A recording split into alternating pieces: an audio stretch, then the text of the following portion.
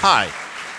It's really good to be home tonight. It's like I grew up in Sunnyvale, you know, part of Silicon Valley, and I, I went to school here in Berkeley for one of my college years, and ever since then, anytime I drive into Berkeley, it feels like you're home. If I'm in one of those two places, I feel like I'm in the home where I grew up. And what a great time. I lived in Norton Hall and walked down to Top Dog to have this event catered by Top Dog.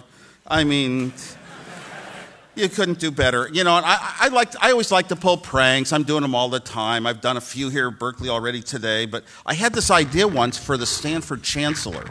And the whole idea was to somehow kidnap him or trick him into a meeting with a dentist that was going to clean his teeth. But the dentist would then emblazon Go Bears on his teeth in blue and gold.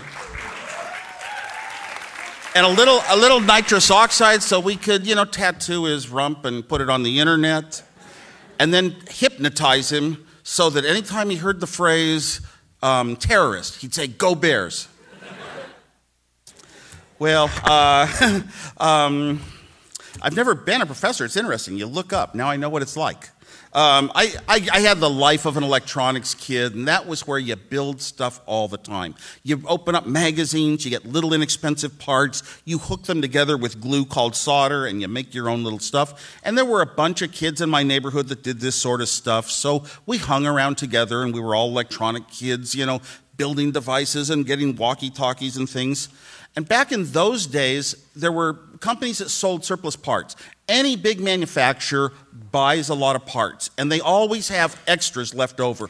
Bins and bins. When I was in school, they'd take us down to Hewlett Packard and show us rooms full of junk that look, was good stuff that they were just going to give away to employees or to schools or to somebody. They never quite knew where. And they often wound up in these stores called surplus stores and surplus stores would sell tons of electronics parts. And there was a guy on our block that had worked in a surplus store, had run one, and he, and he had all this stuff in his garage. So when we did the gardening, we were young kids doing the gardening in his lawn, instead of being paid in cash, We'd say, open up your garage door. We'd look at all his mayonnaise jars full of parts of resistors and capacitors and batteries and things. Oh, that looks cool. Give us those. So we would get paid in parts. It was just more important to us than money living this little electronic life one time we built a house to house intercom and we laid the wire down the fence and across the, the, the, yard and we went down to sunnyvale electronics on our bike and bought microphones and speakers and buzzers and we could buzz each other in the middle of the night to open up our windows and sneak out and go toilet paper houses and things like that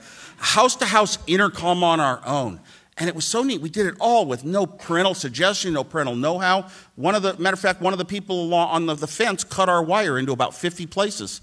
So what we did was we ran the wire on the other side of the fence of his house. And, you know, just kids thinking, you do what's interesting, you know? You don't know about laws and property rights and those sort of things. And it was so neat that we could press a button and it'll buzz Bill down in his house. And that was like reaching further out. It's like remote control. We were in charge of the world, and all the kids in school that didn't know electronics didn't get to share this magical dream and this big upcoming existence, you know? Um, we'd buy lots of electronic kits, and you'd, generally you'd put the parts together yourself, solder them all together, and build things in those days. The hi fi in our home. My father had bought a hi fi from a company called Heathkit, and it came as kits bags of parts that you put together and make your own working hi fi. And hi fi in those days was moving from monaural to stereo and getting better and better quality and fidelity and more low frequencies and more high frequencies. Quality was the big thing until MP3s came along. And then we'd rather have the convenience. Well, when I was in about sixth grade, I read a book by accident, nobody gave it to me, um, called SOS at Midnight, and the heroes were ham radio operators. Ham radios were no, operators were noted for knowing how radio electronics worked and setting up their own devices with Morse code and with voice. And they would always jump in when there was an emergency in the world, a hurricane on some tropical island. They would start dishing out messages to get communication with people. And we were the do gooders. We were protecting the airwaves from bad, spurious signals. And I read this book, and at the end of it, it said, You can get a ham radio license. So here's how you do it. And I said, Oh my God, you don't have to be 16 years old like a driver's license. Anybody can do it.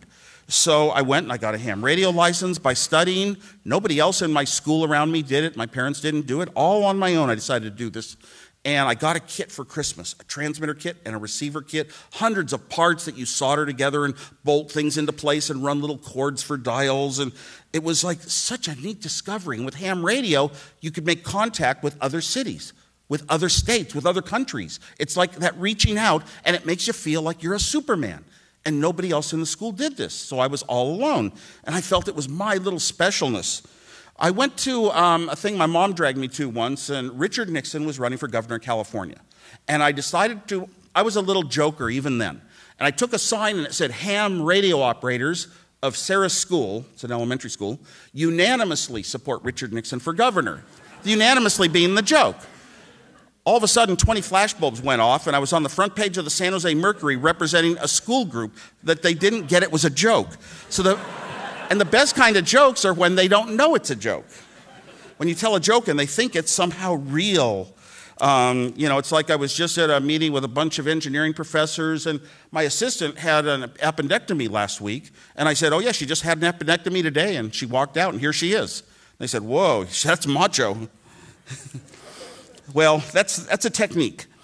Lockheed and NASA grew up in Silicon Valley, and they were so important to the development of the transistor industry, the early transistor companies, and the move towards chips. And the move towards chips was really spurred because imagine that you're trying you're in a space race with Russia and you're trying to go into space. In the early days, every fraction of a gram equated to so many tens of thousands of today's dollars that if you could put six transistors on one chip for the same weight, the same mass, you had a big benefit in terms of money. And Lockheed was building stuff for the military, like launching missiles out of submarines. NASA was heading into space.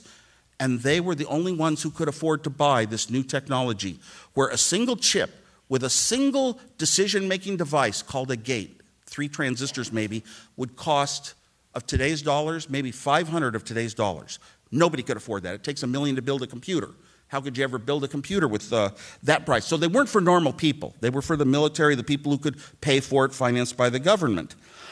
My dad, working at Lockheed, was close to the starting companies. He took me to a show when I was 10 years old, and there were booths showing off products of, you know, making components for electronic devices. And this one guy showed a picture that looked like a bunch of houses on a street looking down on it. And he said, These are six transistors. We're going to make a chip with six transistors on it. Wow, it might have been Gordon Moore himself that was showing me this when I was a young kid. How incredible to go back and have memories of seeing this such an important transition from the transistor on down. Everything often starts in one place and, and everything funnels out from it for decades and decades of development. So I was able to get some cosmetic reject transistors from some of the transistor companies. And I learned, I accidentally picked up a journal in our house, and the journal talked about binary, a system of ones and zeros for mathematics. And I said, My God, these ones and zeros are as easy for a fifth grader as math in school is. You don't need complicated math. You don't need geometry, trigonometry, calculus, all these exotic things we've heard of. All you need is normal, a normal young student could understand everything about zeros and ones. And they had decision making devices called gates decision making devices that follow rules. And each one of them electronically was very, very simple to understand. And I said, My God, this is my secret for the rest of my life. I am going to love computers and everything about them. And I don't know why.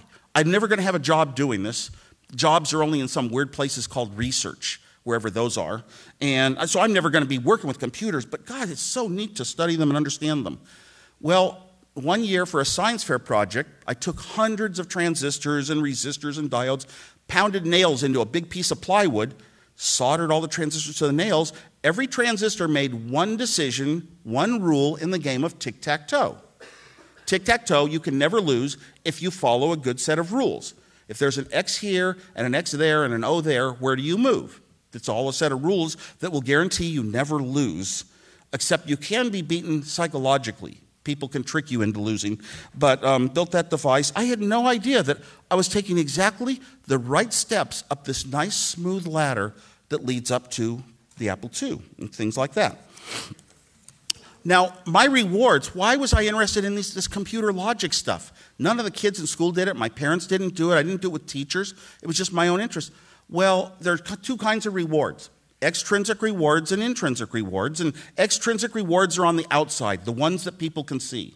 They can see your title, they can see your salary, they can see how many yachts you have, they can see your awards, your grades in school. But the intrinsic rewards are the ones that are in your own head, and they matter the most. Who are you really? What are you really going to stand for? And what's really important to you? And, you know, the fact that you're getting satisfied with computers, learning about them, that's an intrinsic reward that's much power, more powerful than even grades in school. By high school, we had a great electronics teacher, great classes teacher, military guy. He wrote the course himself. We did more slide rule calculations in our electronics class in high school than you had in physics or chemistry. I mean, it was just wonderful for somebody like me, so mathematical, and I loved numbers, and I was the slide rule whiz in my high school. And um, usually in electronics, it's like a vocational course, and the top academic students don't take it. But a few of us top academic students would take electronics, and we were the ones, you know, kind of more superior like engineers. Um, the teacher, in my case, I had so much electronics experience from ham radio and a whole bunch of digital science fair projects, including adders, subtractors, and all that, that, that my teacher said, You already know all the electronics here, and you're just going to play pranks and wire other people's radios up so they explode. So I've arranged for you to go down to a company once a week outside of the school. He went beyond the school boundaries. You know, I never saw any other teachers that did that. Most teachers say, here's what we have to teach. Here are our books, and here's what the learning is, and you go find the extra on your own. But this teacher every year helped a few students get into business, kind of on a co op basis. So I got to go down to Sylvania once a week and program a thing called a computer. We didn't have computers in high school then. So this was, wow, I was like the most important person in the world. My dream in life computers, I got to program one. What can a computer do? A million things a second. A computer can count a million times a second. How fast can a human being count? Figure it out, and it takes you, you know, two weeks if you don't go to sleep, and you might count to a million, but I doubt it. So this computer can do it in one second. How powerful. And one of my first programs I wrote was the Knight's Tour, where a knight piece on a chessboard tries to hit every square exactly once and not twice and then you get stuck and bouncing around randomly and you back up and you try a different approach and back up and try a different approach and you'll get the solution. And i wrote the program and it would do a million things a second and get the answer. And nothing came out. And the next week i printed chessboards and i finally saw that my program was good but it was going to take 10 to the 25th years to solve.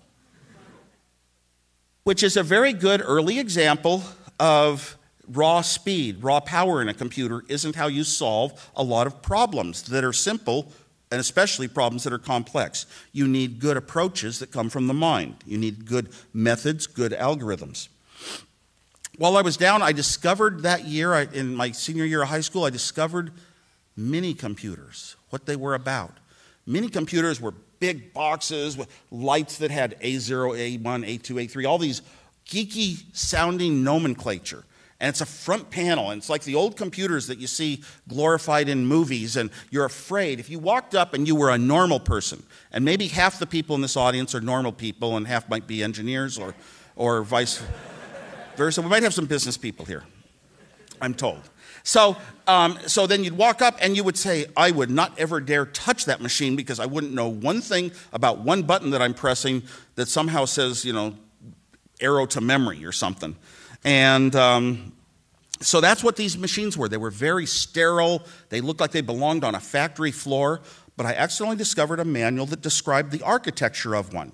Imagine that you have a lot of experience with lumber, and I had a lot of experience with logic at the time, and you have a design of, of a building with certain windows and doors and rooms. Well, you could theoretically start to put down the pieces of lumber you're familiar with and construct a drawing of that building. Similarly, I took chip manuals of the day, and chips were pretty weak back then, you know, one gate on a chip, and I would design on paper my version of this computer that I now had a description of its architecture, the PDP 8. And it took me quite a few weeks, quite a few tries, and on weekends I would shut the door in my room. I was a very shy person then, wouldn't involve anyone else. I'd sit on my white table and I'd just start trying to teach myself how would you design a computer? No books, no reference materials. They didn't sell books on how to make how computers were made in stores back then. And I eventually designed this computer. And then I thought, wow, what about other mini computers? So a friend and I, I thought, I'm so interested in computers, but there's no books in the technical library. Where would you find a good technical library? Stanford Linear Accelerator Center. I hate to use the word. Um, Stanford Linear Accelerator Center had some of the brightest minds. They would surely have manuals on computers there. So a friend and I drove in on a Sunday so we wouldn't get caught. And we kind of figured out where the main building was, and we discovered that wherever real bright people work, they tend to leave doors unlocked. So, so we every single Sunday we went there, we'd climb stairs and find a door unlocked somewhere. We'd get into the building, go to the library, and I would read magazines for engineers on computers. And I could fill out little cards and order manuals for the Varian mini computers of the day, for the Hewlett Packard mini computers of the day, for the digital equipment mini computers of the day. And every time I got a manual that described the architecture of a computer, close my door at home on a weekend, and start designing my version of it. And after a while, I made a game. How can I do this better and better and better? Kind of like seeking perfection. How can I be better than I ever was? Strange ideas in my head, ways to use parts of gates that were supposed to be something called a register, but use it as something else called an inverter just because it will work, even though it's not designed that way. Everything I could to save parts. And I thought engineering is all about efficiency. So many times we're looking for output divided by input, getting the most out for the least in. And to me, that was you, if something is very short and simple, be it a program, be it hardware, fewer parts was more valuable. And it just became a little game. And I got very, very good at this. I uh, looked at my designs, and they were like half as many chips as the companies that were shipping the computers. And, you know, it's kind of like, you know, when you create energy these days. Energy is one of the big engineering problems of the near future.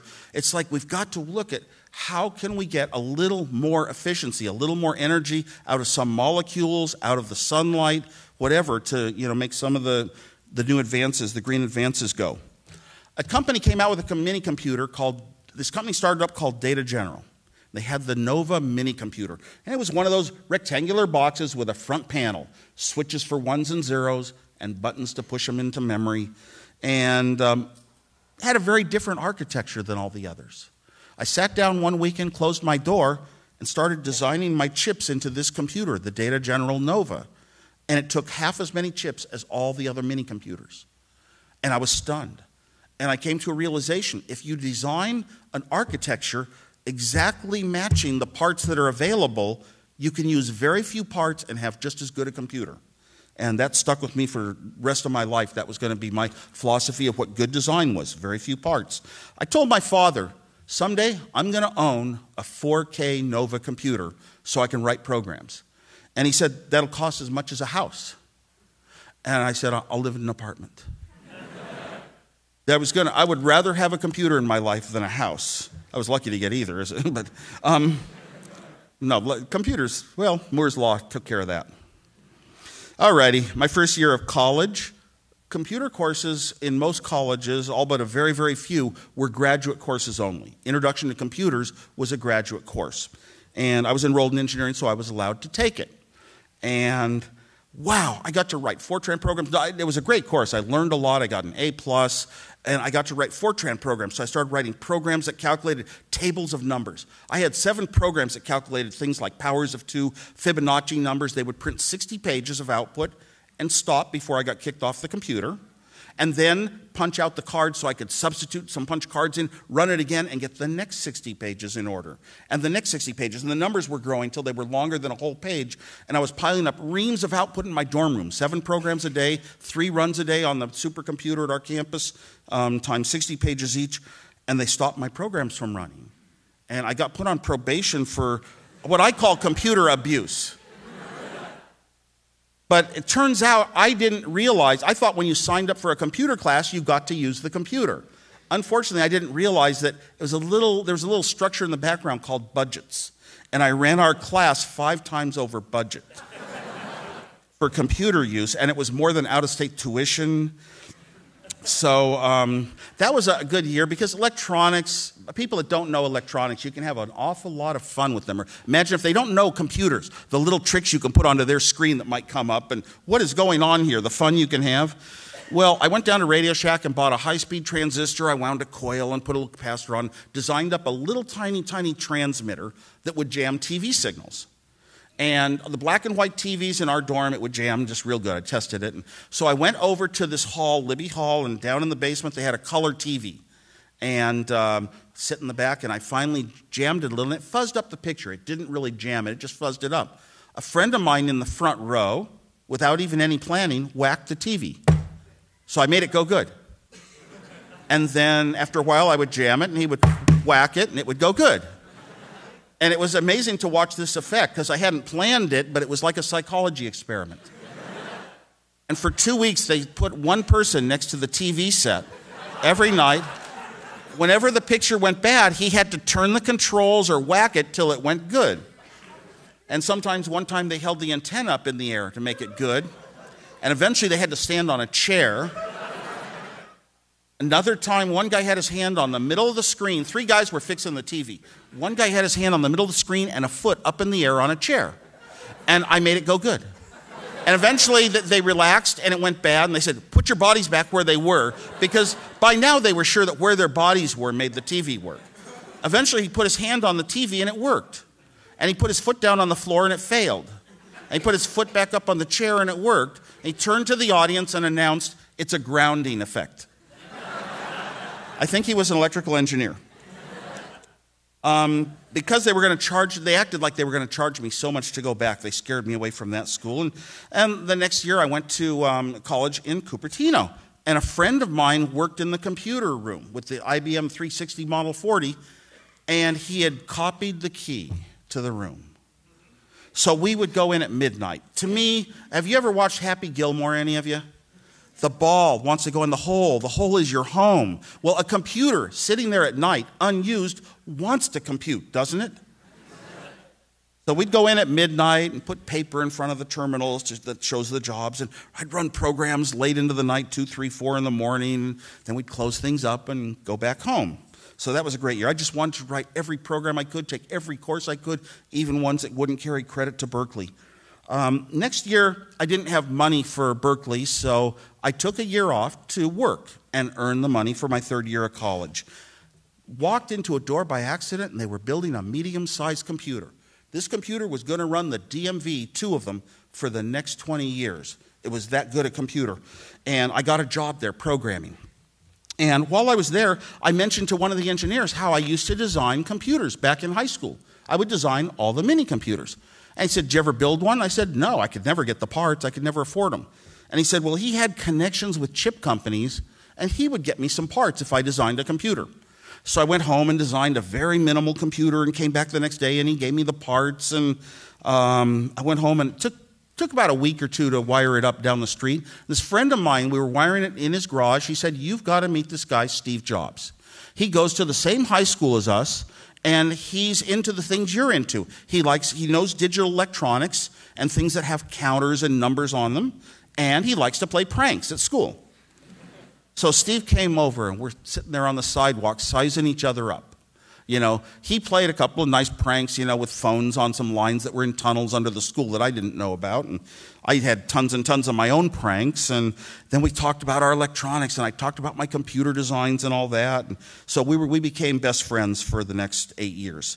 Um, he had a nice home and family, his mother, father, sister. I didn't realize they were adopted. I didn't realize he didn't like his dad. His dad was always showing us lasers from where he worked and interesting stuff. I thought he, the sort of stuff that you'd be interested in. And I thought his dad was really nice, but Steve didn't get along with him that well. Um, Steve had worked selling surplus parts at a local surplus parts dealer. And he, and he would sometimes discover somebody that had a bunch of parts for six cents that he could sell for $6 each and he'd make a purchase of 100 parts and, and make money like that. And I thought, whoa, that just sounds a little wrong. You can get it for six cents and sell it for six dollars. Why wouldn't you tell the person you're selling it to what it cost you? And another thing that Steve did back in high school, he talked to me that for first meeting we ever had, he talked to me about how he and some friends had made a movie, frame by frame, claymation, animation movie. So, you know, you never hear about that. When you hear about Pixar, yeah, he did, um, it started way back early in his life. Um, he'd also read a book, and he said that there were a few special people, the Einsteins and the Newtons, that moved our progress forward in the world. moved life forward, and there were only very few of those. And in this book, all the rest of the people kind of didn't matter. They didn't make any difference to how history went. And Steve always talked like he wanted to be one of those special people that were the ones, you know, moving the world in a forward direction. Um, well, you know, and, and, I, and I kind of agree with that. You know what? If you, um, you know, if you don't want to solve problems or move the world forward, you're not gonna. You have to want to. Having the want and the desire, the inspiration to do something is more important.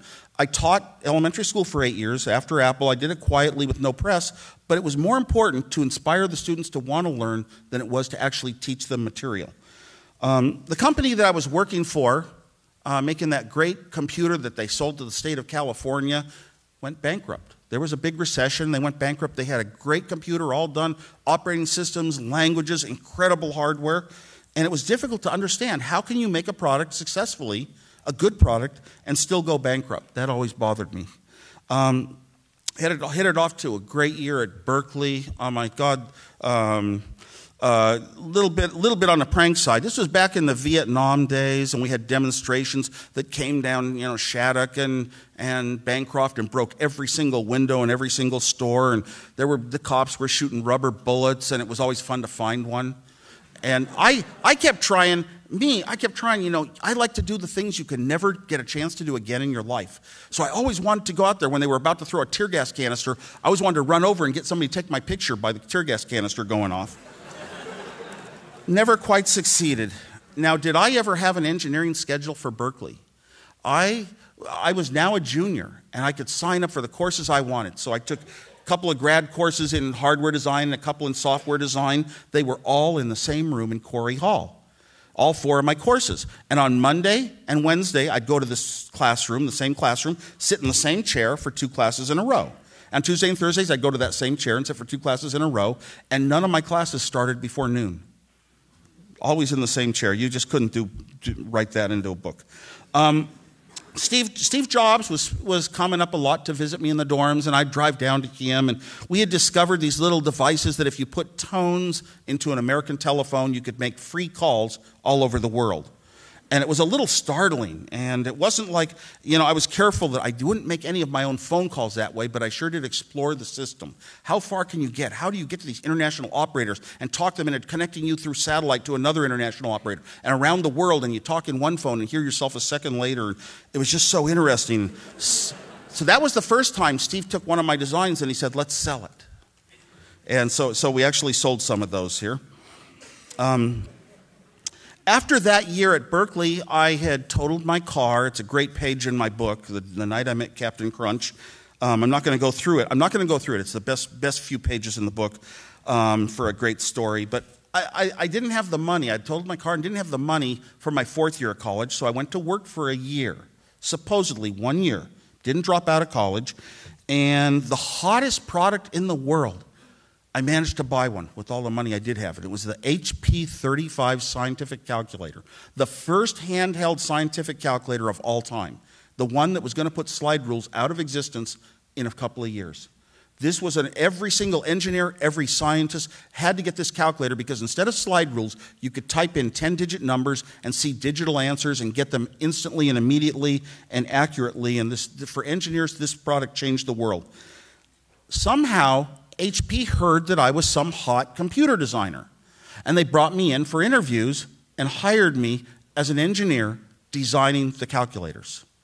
So what an incredible chance in life to be on, you know, the hot moving products of the world, get to work there. It's like if you loved Apple products so much and you got a job at Apple. So my job was designing the digital logic inside of chips and then laying out, doing some chip layouts actually. And I would go and use the computer. We had one Hewlett Packard mini computer and teletypes and big apparatus that we all shared. So 40 of us engineers would sign up for time slots, get on the computer, run our programs, and I would write simulations that simulated my designs, ones and zeros, bit by bit, and see how they came out and make sure they work. So um, that's what I would do on that computer. And I kind of, you know, would have loved to have my own computer, but that comes a hair later. Our calculators at Hewlett Packard used what was called reverse Polish notation. Anybody know what reverse Polish notation is? You know, anybody who's been through computer software or algorithm expression um, solutions knows that RPN, you put in, if you want to add two numbers, you put the two numbers in first, and then you say add them. And that's how our calculators work. And it was like things that computer scientists do who are writing computer languages. So we thought our calculators are more sophisticated, more computer science, more powerful and macho than normal calculators where you say 2 plus 3. And um, we had a big equation on a card that you, we could solve with our calculators, but boy, was it hard. I'd try it over and over. It had so many subterms, you know, this minus that squared, and it was kind of like the big statistics problems. I could solve it on my calculator. Texas Instruments introduced a new calculator. They came out with a calculator that used parentheses instead of reverse Polish notation. Parentheses, 5 plus 3, parentheses, times 6. And that's, the parentheses told you what order to do things in for a long equation. And we laughed at it. We said parentheses make it a toy. The same way people were going to someday say graphics makes the Macintosh a toy. And we laughed at it in Hewlett Packard. And they brought the calculator over by my cubicle, and about six engineers were standing around, and one marketing guy. And I said, Hey, I'll try the big equation. We had this big card. I said, I'll try it because I thought of myself as being pretty smart. And I sat down there and looked at the equation and saw here's the term you do first. So I have to hit about six parentheses, or is it seven? And I'm thinking, there's no way in the world I'm ever going to get this straight. No human could do this. And I did something that's very important that a lot of people have trouble doing cleared my head out. You pretend you don't know anything. What would you do? There has to be a way. Wait a minute. Why don't I type it in from left to right? I typed in the equation from left to right as fast as I could go, guessing if square root was prefix or postfix, first or last, and got the right answer the first time. And the other engineers were kind of stunned. How did he do that? And I held it, handed it to each of them, and I said, type it in from left to right. I couldn't get one other engineer to type it in from left to right, parentheses and everything. They all wanted to use the skill that they had built up of looking at a complicated expression, figuring out which part to do first and which part to do second, and wanting to do them in that order. You don't want to give up a skill sometimes, so you miss spotting when something comes along that's easier and simpler. You know, why have two languages, one for the calculator, one for handwritten expressions? Steve Jobs, around this time, wanted to go to Reed College because one of those special people in the world that got a Nobel Prize was at Reed College. And I drove Steve up to Reed College in Portland, Oregon, visited him quite a few times um, in the next months. And the first day he got there, he brought a card to me. He said, Look, here's the classes they're telling me I have to take. And I looked at it, and it was literature, you know, and calculus, and, you know, or some kind of math and, and history. Was the normal stuff that you take. And I said, Yeah, that's what you get when you go to college. And he said, Oh, no, no. He only he thought you go to college and you take Shakespeare and quantum physics and all these neat things. And, uh, and so he didn't go to classes for the first week. He just sat in this tent with his girlfriend in the dorm.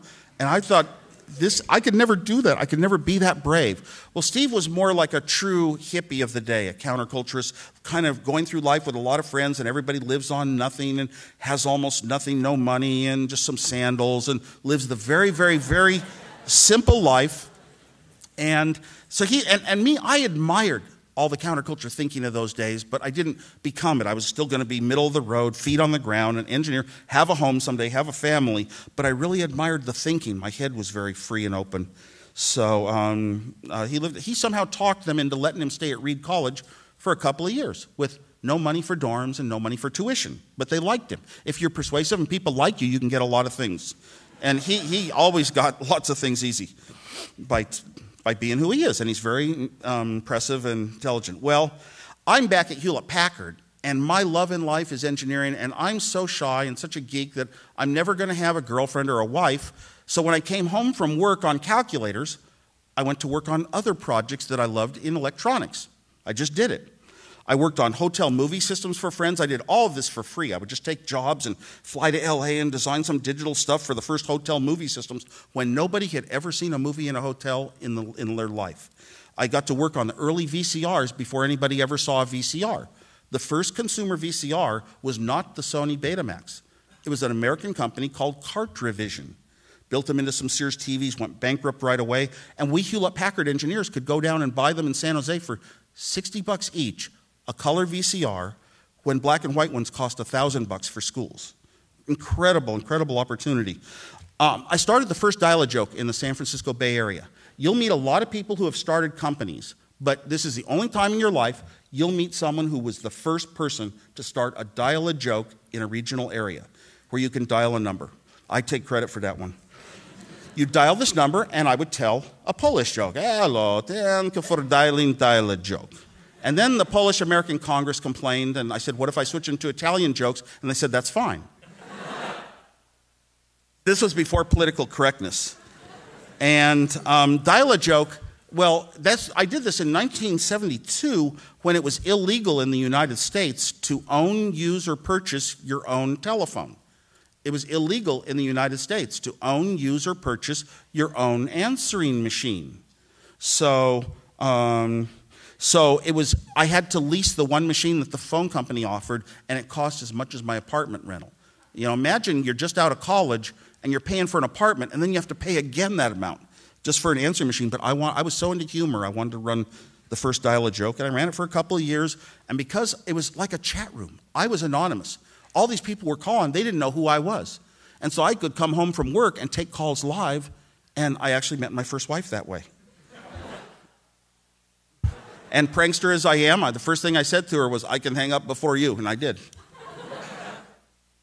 Steve Jobs, you know, oh, oh, before that, um, I went into a bowling alley with Alice, and there was a Pong game. The first time ever I saw a little TV screen playing a game, and I, my jaw opened. I couldn't believe it.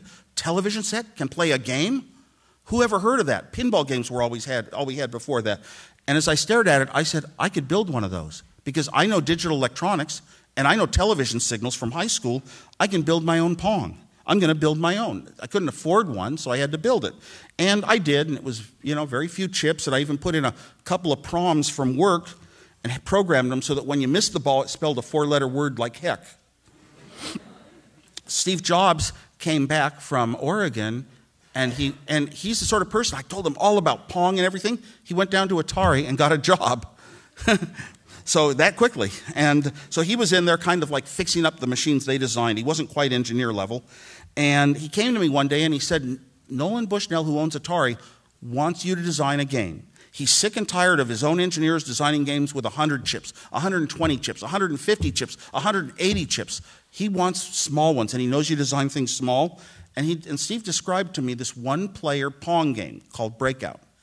And I said, Yeah, I, oh my God, it'd be the greatest thing in my life to design a game that people are going to play in bowling alleys and stuff. Kids are going to play. How incredible. And Steve said, Well, there's a hitch. We have to build it in four days and nights. It wasn't software back then, it was hardware. Little chips with voltages that went high and low, and you had to hook wires to make other chips go high and low to get signals into a TV set that showed up as balls and paddles. That was a six man month job. So, four days and nights. I didn't think I could do it, but I sat down, started designing. We didn't sleep for four days, either one of us. We both got the sleeping sickness, mononucleosis. We delivered a working breakout game to Atari. While I was there, I was kind of, you know how you are when you're falling asleep and you're hardly awake and your mind's drifting? It's almost like you're, like, uh, I don't know, it's almost like you're hypnotized, sort of hallucinogenic or something. All the, the games in Atari at that time were built with black and white TV sets little dots going in black and white. And I went to the factory floor, and this one game had a bunch of mylar on the screen red, green, blue, orange. And as the ball went across the screen, it was changing colors like a rainbow. And I was just mesmerized by this color effect. Color is so important in the world. And then into my head popped an idea of a way to take a little $1 chip, spin it around at the right speed, and get all sorts of signals out that would look like color on an NTSC television, art in American television. So I filed that idea away. Next thing, after breakout, Steve Jobs and I went to visit a friend who said he had something big to show us, and he's down in a basement typing on the big teletype machine, and he says, I'm playing chess with a computer in Boston. And he was on the ARPANET, the early forerunner of today's internet. And he brought up a list of computers Stanford, Berkeley, UCLA, you know, Illinois, um, um MIT was on there, about 12 computers, and you could log on. It's that getting far away thing that makes you super powerful and a you know, superhuman. And I said, as I, I drooled, and I said, I have to have this. So I went home, and instead of designing a game that put balls and paddles on my home TV, and I, I had no money at all. Steve Jobs and I are, were in our young 20s, realize we had no savings account, We had no checking account, really. We had no cars we owned. We had zero. So the only output device I ever had was my television because it was free. I already owned it. Televisions didn't have video in in those days.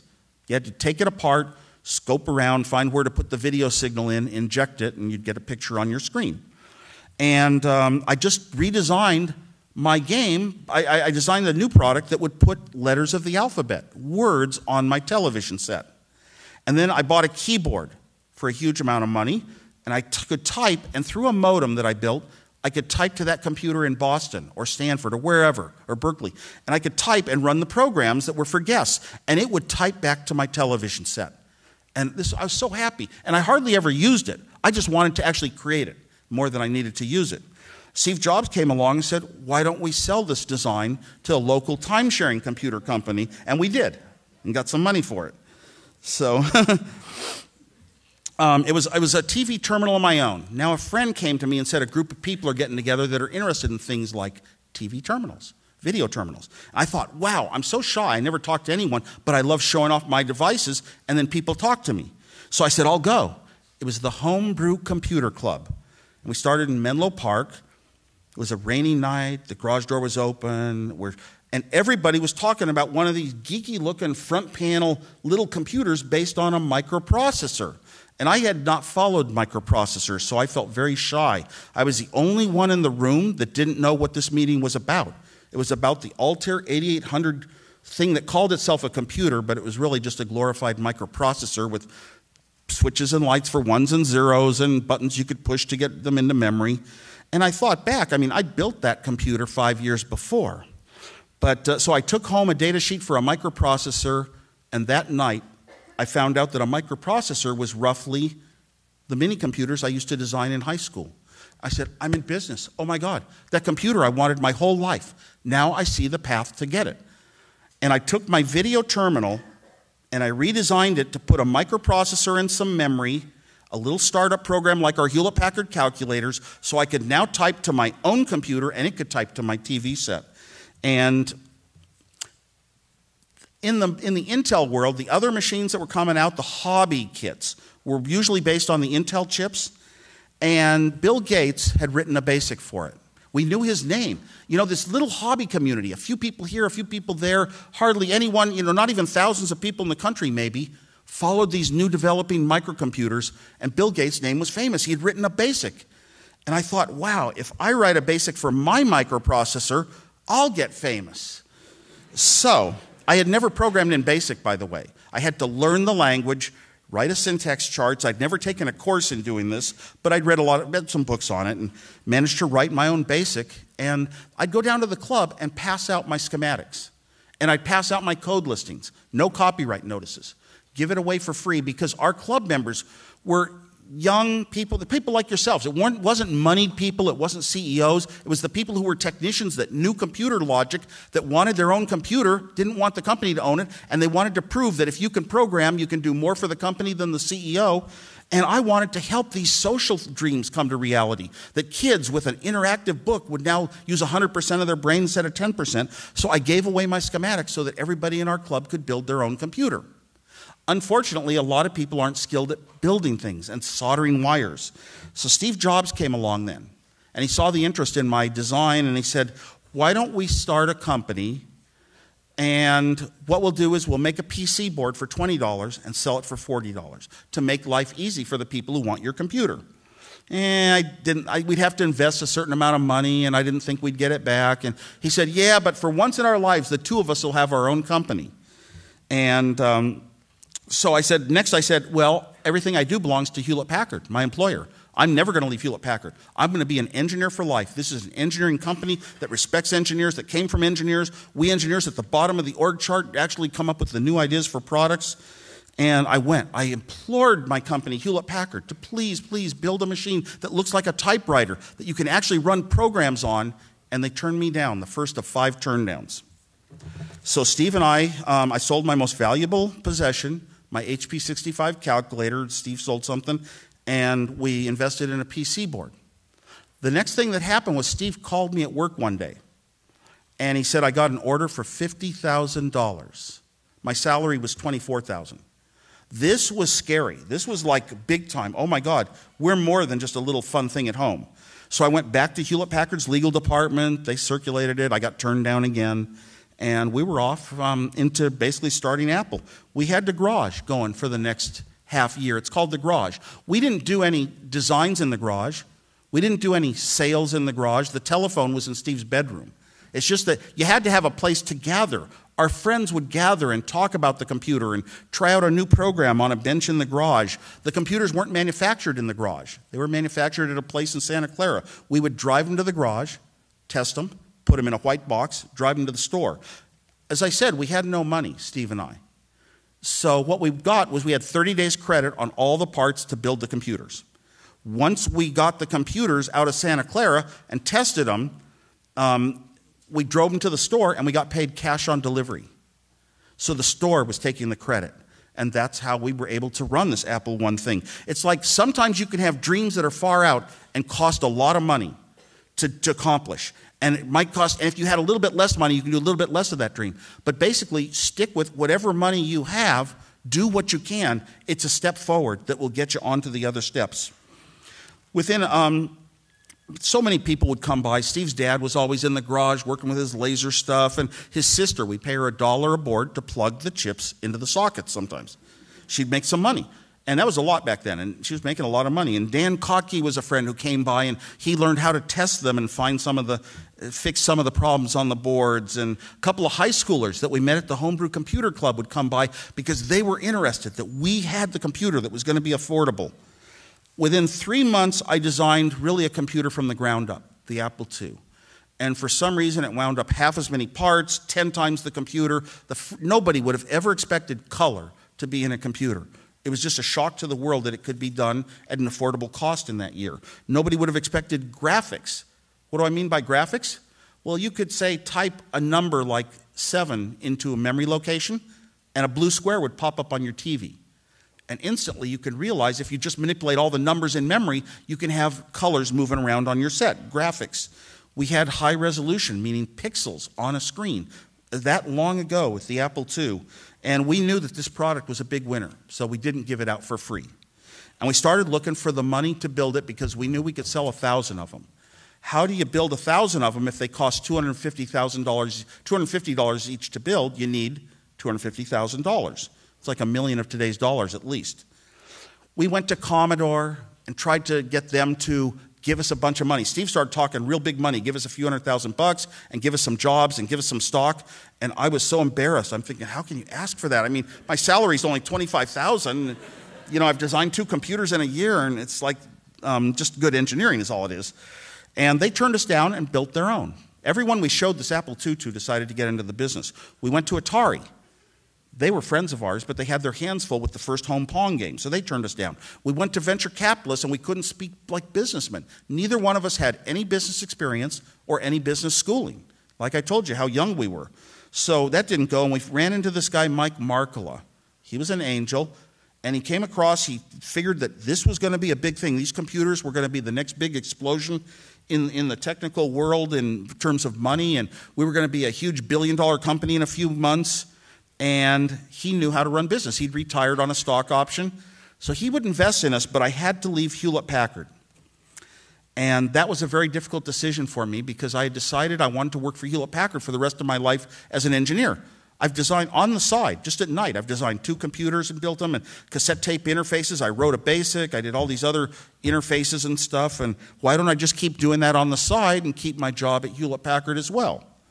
And Mike Markkula said, No, I had to leave Hewlett Packard, and he gave me until Tuesday to decide. And on Tuesday, I, you know, I was one of those people, I grew up very independent my whole life, and I wasn't going to be influenced by money. So on Tuesday, I turned him down and said, Nope, I'm going to keep stay at Hewlett Packard and design computers for myself at night. And Steve went into a frenzy, Steve Jobs. He got all my relatives to start calling me, and all my friends, take the money, take the money. And one friend finally said the right thing. He said, Look, you can start this new company and be an engineer and stay an engineer, and you don't have to go into management, you don't have to run it. And that's what I needed to hear because at that point, I was the sort of person that could never really run a company. I couldn't step on other people's um, toes. I think we're about done, but um, I'll, I'll give a couple of the good highlights real quickly. The Apple II was introduced, started selling very well, kind of took over this little hobby computer world, but it was a completely built product. Take it out of the box and start typing on it. It used a cassette tape to store your programs.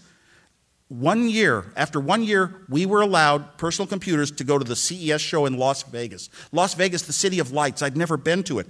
And I wasn't going to be going, but I said in a staff meeting, I said, if we have a floppy disk, can we show it? And Mike Markkula said, yes. That gave me two weeks. If I design a floppy disk in two weeks, I get to go to Las Vegas. You can't get better motivation than that. the real breakthrough came from a person trying to write a checkbook program with checks month by month and realized that he had really a financial forecasting tool, the first spreadsheet called VisiCalc. Once VisiCalc was out, an Apple II plus VisiCalc to a small businessman, they could do their work in in two hours, three hours that would take them 10 years by pencil and paper, and they were just buying them by the hordes, and we were a big, um, lucky technical success story. Um, after, after Apple was successful, and I had a plane crash while working on the Macintosh project, um, I did go back to finish my college. And I, I came back to Berkeley and I uh, enrolled over in the main building under a fake name, Rocky Raccoon Clark, to finish, finish my studies. So I got my diploma in that name. And I did other things that I intended my whole life to do. I did go back and I taught fifth grade for eight years and things like that because just wanted, how do you stay yourself? Um, I'm ready for question and answers. I'm not sure how much time we have left. Probably running a little late. So, thank you. Thank you.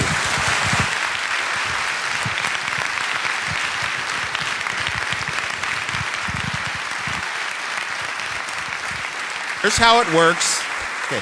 Here's how it works. If you have a question, raise your hand, and somebody will bring you a microphone. I'll identify you for them.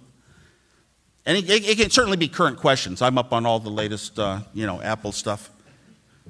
Hi. Um, what advice would you give to new innovators? Because many new companies tend to like either boom and then somehow they kind of just like you know fade away and no one hears about them anymore, or they get absorbed by a much bigger company. So, what advice would you give to people who kind of have the same passion and dream like you, mm-hmm. like you did yourself when you were younger? Yeah, everybody who's just as smart and passionate and excited about what they're doing doesn't have necessarily the huge big successes like Apple and Google and all that, and you, you can't expect it. But you can you got to keep trying. Um, one of the things I wish that a lot of the big companies, once they get successful, even if they buy smaller ones, I wish they could identify the people on the inside that have some neat things going. Why didn't Hewlett Packard spin me off and just invest? They couldn't do my product. They couldn't do it because of their corporate culture.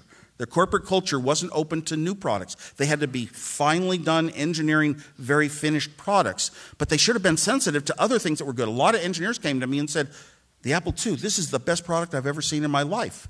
I mean, they should have found a way to spin it off and own part of it and give it a different name and an ongoing existence. It's not done very much. Hewlett Packard did one very, very good thing to help the young inside innovators, and it came from Hewlett and Packard themselves in the early days. They had a policy that any engineer who designed something on their own could get parts out of the storeroom for it with their supervisor's approval.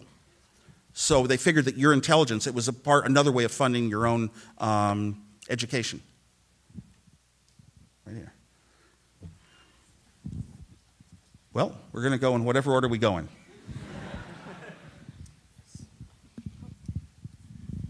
Two questions. Uh, one we were talked about when you were on This Week in Twits um, podcast at the Apple Store. Where do I get good laser pointers? Is number one.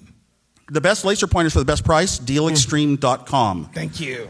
And Awful laser pointers in some weird colors, but very expensive, uh, wickedlasers.com or biglasers.com. Cool. And the, the other question is what do you see as some of the biggest challenges now in technology and in innovation that engineers and other technology architects need to look at solving? Is it approaches, architectures, or is it a combination thereof? Yeah, I don't see any real, I mean, critical areas. I see we're making big breakthroughs in, especially um, foldable displays. I think that's going to be great. Maybe we can wear clothes someday or have Google Earth on a real globe.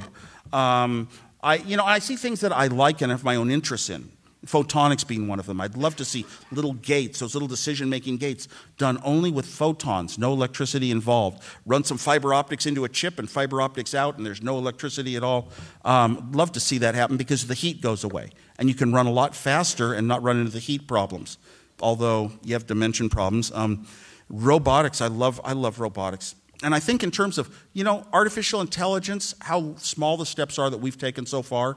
You know, we, while we show something off that'll s- seem impressive, but what if you think about the idea of a robot making a cup of coffee? I could go into your house and make a cup of coffee. You could go into mine and make a cup of coffee, but if you think it out in your head, what it would take, all the steps that you did, and how were you able to do it, and part of it's by having made a lot of coffee in your life and been in a lot of kitchens in your life. That robot has got to almost live a long life of learning to be able to do it. You can't program these things directly. Okay, Well, uh, in the first of all, first of all, I just want to say uh, I respect you very much. You're one of the greatest innovators of all time, I think. Um, secondly, uh, the question is, um, how do you view the shift from uh, consumer electronics computers specifically into more consumer media? For example, the the iPhone or the, the iPod. Um, not that Apple has banned in the Macintosh sector, but there's definitely more of a shift towards that. Well, you know what? The sort of electronics projects that you have, we have the skills to build have been pretty much consistent. Back in the time of Edison, we may not have had computers so much, but you know, working on telephones, audio, phonographs, movie projection, movie theater, the, the categories tend to stay the same thing. And so, if you once you have skills in that area, and you can think of a good product, how does a company like Apple, yeah, come out with something that's not a computer? Um, think about this: all of the all over the world, music devices were being put out and being manufactured. You could buy them, and you had to transfer the files from a computer. So they were becoming like computer accessories. What Apple did was very strange, and it's in line with Apple's um, corporate philosophies that carry over to products, which is we try to take all of the geekness, all of the engineering away from the user so they don't have to know any of it. We built the first music device that was not a music device. It didn't have files and structure that you had to learn. You simply plugged it in your computer, and you know Apple, Apple controlled all the elements. Apple, Apple could control the experience because they had the store, they had the operating system, they had the application, they had the hardware, they had the, the iTunes app, and they had the iPod. So you just plugged it in, and invisibly the music was in your ear. You didn't really have to think, and that's a lot of what we what we do that with. Um, the iPhone is another example of only wanting to make excellent products that you research and you try every approach in the world and just reject them, reject them, reject them until you get something that is just so outstanding good that anybody would drool over it and say, I have to have it. You know, and that's just Apple doesn't. Uh, Steve Jobs, in particular, does believes that we've only lost money when we've built junk that was so lousy we couldn't sell it. Um, do you plan to invent anything new? Or are you working on something? Or I, you... I plan. I, I'm actually always close to people inventing things. Doing the sort of engineering I used to do, I was one of those ones that for 20 hours a day, and I'd wake up in dreams with solutions all the time. I did even in high school for mathematics, for classes, anything. Just go to sleep thinking about it, wake up and write it down. But uh, I can't do that. Name. You know, 20 hours a day concentrate on engineering. I have a lot of public appearance stuff to this day. I have family. I have children. I have um, other duties in the world, and not the time. That's kind of like why the, the new companies that come out of nowhere, the startups, you know, be it um, you, um, you know Facebook or whatever, or Google, they come from young people who kind of haven't been there in the system very long. You know, Apple, we, we came from almost nowhere, and, and after a while, you just get older and you go into management. It becomes a lot easier. It's di- difficult to remain a very precise engineer where everything has to be so perfect that nobody can do it better than you. That's, that's a lot of intense, you know, you feel stress and mental work in your head. You can only do it when you're young. So, so I guide projects now, and I've had a few startup companies working in pro- areas like GPS and remote controls. The first, the first um, programmable remote controls, I did those just because I wanted to. I love little startups with a few people talking about ideas. Now I like to meet with even high school kids or just out of high school, talking about ideas, where to build something. And usually, what they're missing, there's so many people now that want to be an entrepreneur and start a company, but and they have ideas, but they don't have the engineering and the product. done. We were lucky when we started Apple, we had the whole thing.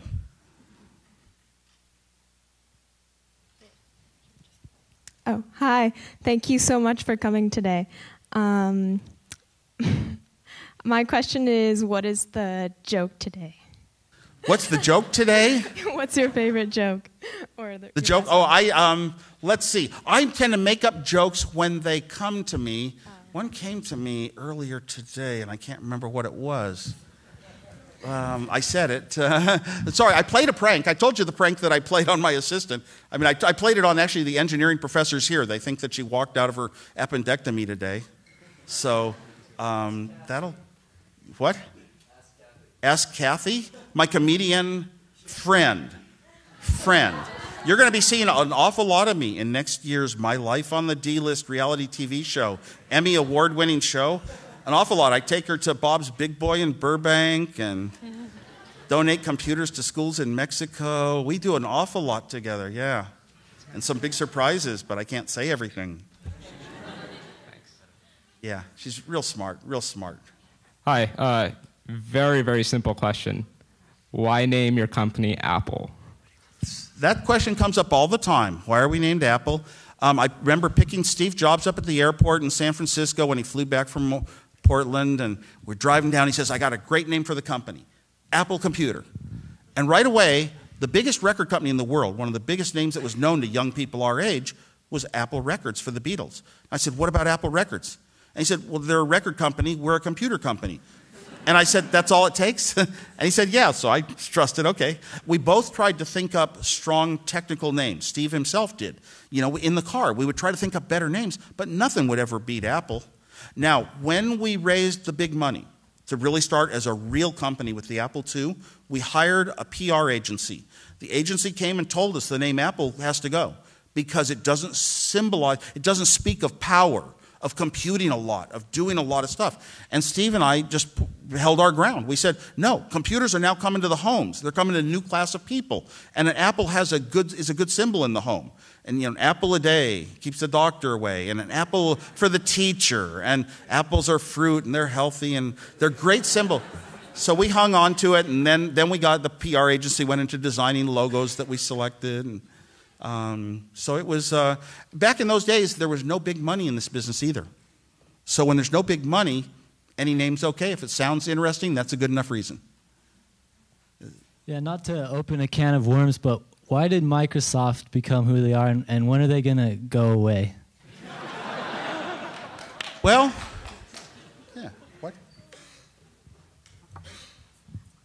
Okay, alrighty. We'll have one more question after this one, but um, Microsoft, well, as I mentioned, Bill Gates actually started out as, as a brilliant programmer, but instantly went into being a businessman, buying something here, selling it for more there with, you know, subscriptions and making a lot of money off that. Um, there was a point in time with our Apple II where we dealt with Microsoft to write some application software for us and a floating point basic for us. And they were very cooperative and they were much smaller than Apple. We didn't think that much of them at the time. But the world was changing to where software was going to be more important. And you could buy those Intel machines everywhere in the world. Every manufacturer made Intel machines, and only one manufacturer made the Apple II. And so we lost a huge amount of market share due to that. We kept our prices high, and um, it could have been a mistake, but it could have been the right thing to do. And how can you go back and try to point a finger and say it was right or it was wrong? Microsoft became very big, but they were trying to give the world new tools that it didn't have, computing tools. You know, a lot of people get, get their best out of it. I mean, when I think of what's the worst thing about Microsoft stuff, well, a lot of people fall in love with Apple stuff. And you know, if you want to be passionate about the machine you own, like a car, or if you want to feel special, it's probably you're probably a Macintosh person um, most, a lot of left brain industries, though, are forced into a PC. You can only get a lot of software for accounting on a PC, for lawyers, legal on a PC, and for engineering. A lot of the software is only on a PC. So that kind of directs you. But your own personal choice, um, our, we feel if we keep making good products, people will learn and find out. And of course, I do worry about spam.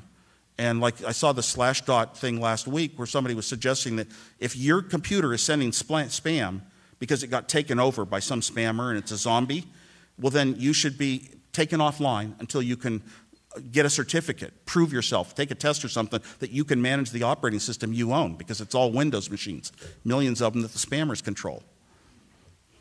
One last question. Okay, um, I, I, had two questions. One's real quick. Um, I saw on your wrist um, what do you have there? Is it a Nixie tube watch? It's a Nixie tube watch that uses 140 volts on the Nixie tubes, and when I turn my wrist, it shows hours and minutes at the rate I would speak it, and my head loves to read it that way. I actually love it as a watch. not, not because it's a geek watch, but um, that was the, I'll wear a geek watch for one week and then I'll go back to my pretty hands watch. But this one, I actually like the way it tells time. and, really and, and, cool. and I saw somebody wearing one. I looked it up on Google, Nixie Tube watch. I found it. I got serial number 14, handmade in America, I like to tell people. Wow. Uh, my other question was um, I know with the iPod and the iPhone, um, there's been a lot of, like, a sort of battle between people who want to modify the system and Apple, like, trying to prevent that, trying to make it into a paid system. Um, what's your opinion on that? Well, I haven't seen that huge a battle. I'm sorry it exists. I, want, I think it should be open. What made the Apple II so successful in the early days, it was an incredibly open machine. We published every schematic and listing and information of how to make your own cards to plug in, how to write your drivers on them, how to add devices, how to write software in many languages. Um, and all these companies, thousands of companies sprung up from little people that never in their life would have a chance to have their own company. Some of them were in high school and they started writing programs or designing little pieces of hardware, selling it for the Apple II. And it was such a huge market to see the number of just really young and small people that had a chance now to be something in the world. It was an incredible time. And it gets closed down when a company has a product that's not very open. I hope that Apple's SDK leads to a lot more of these, you know, young startups, you know, finding a way to make some nice piece of software for the iPhone. Um, and we can get away from. I hope. I hope that they're adequate enough for the masses that we don't even need the hacking. Um, and I can understand some reasons why you'd have to close up a new product, but I can't understand why you wouldn't let me put a ringtone into my iPhone. I'm not going to destroy the world, or why I can't have stereo Bluetooth. There's some things that, you know, I just as an engineer, it's just, I'm sorry, it doesn't equate. so, good luck with, yeah, good luck with all your products. I love mine.